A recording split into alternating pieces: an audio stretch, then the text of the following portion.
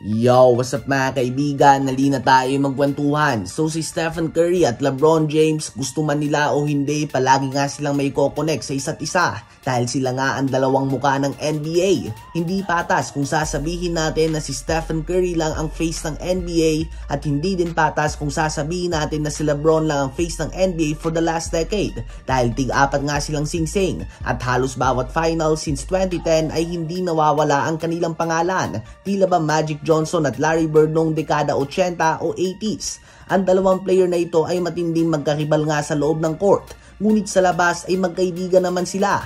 Ngunit laking gulat nga ng iba nang hindi isali ni Stephen Curry sa kanyang all-time starting lineup sa LeBron James dahil kadalasan nga ay lock na ang shooting guard at small forward positions ni Michael Jordan at LeBron James sa mga usapan na ganito.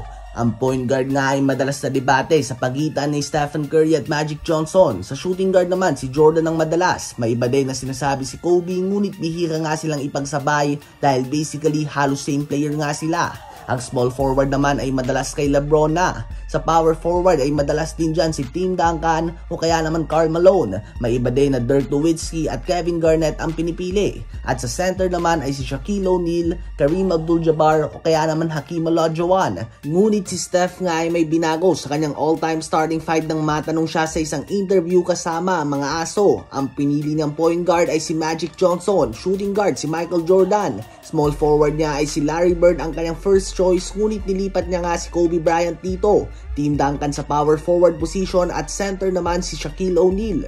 So ayan nga po mga kaibigan ang all-time starting five ni Stephen Curry.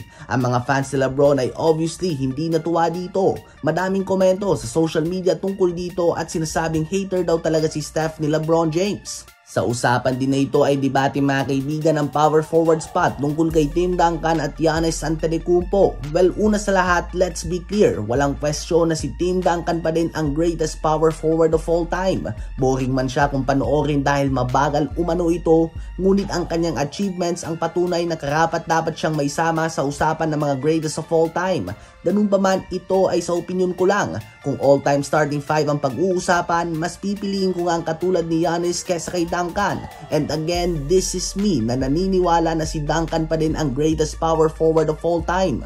For the simple reason na kung may Stephen Curry, Magic Johnson, Shaquille O'Neal, LeBron, Jordan, Kobe o KD ka na sa lineup mo, hindi mo na nga kakailanganin ang low post offense si Duncan. Ang pick and roll pa lang nga ni Steph at Shaq o LeBron at Shaquille O'Neal ay unstoppable na. May Jordan ka pa o Kobe o KD na kayang mag-ISO anytime. So ano pa nga gagawin ni Duncan sa opensa? Kaya sa palagay ko si Giannis ang babagay sa isang very talented na lineup dahil basically he is a superstar na ginagawa ang lahat ng bagay na ginagawa ng mga role player. He will dive for the loose ball, chase down blocks, makikipagtulakan sa pinta, handang depensahan ang best player ng kabilang team. He will do the dirty work kumbaga. At dito sa palagay ko nagmamatter na it's not always who's the best, it's who fits best sa mga players na nakapalibot.